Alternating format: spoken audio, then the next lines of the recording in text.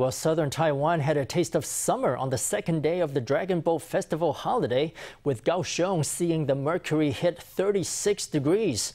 The fourth typhoon of the year, Koguma, has made landfall in Vietnam, but it is expected to weaken and will have no effect on Taiwan. Precipitation for the coming week will occur mostly in the central and southern regions, but the volume will be limited. The public is still advised to conserve water. The sun hung high up in the sky on the second day of the Dragon Boat Festival long weekend. Over to the west, the fourth typhoon of the year Koguma has made landfall in northern Vietnam.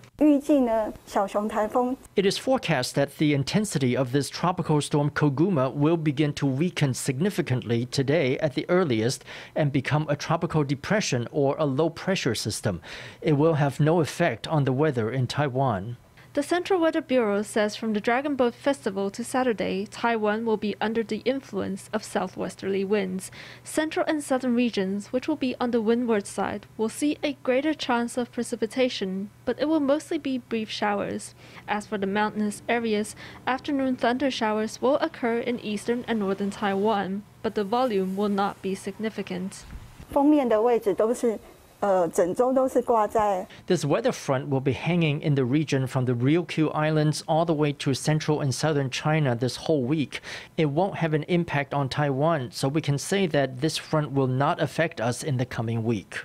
The recent waves of rain did alleviate water shortage at many reservoirs. Feicui Reservoir is now at a comfortable 86% capacity, Shimen Reservoir at 45%, and Baoshan Reservoir at 41%. More spectacularly, Baihe Reservoir has reached 21% capacity after having been empty for 220 days. Despite the lifting of water rationing measures in central Taiwan, the public is still reminded to conserve water in case the rain stays away.